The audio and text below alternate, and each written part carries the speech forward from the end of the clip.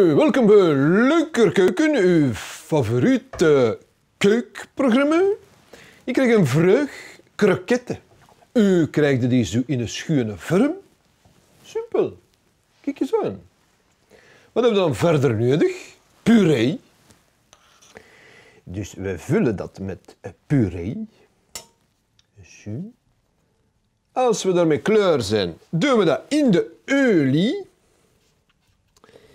En dan rollen we het in het zuigsel.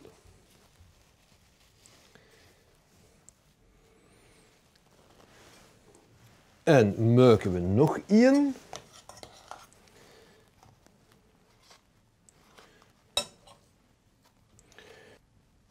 In de olie.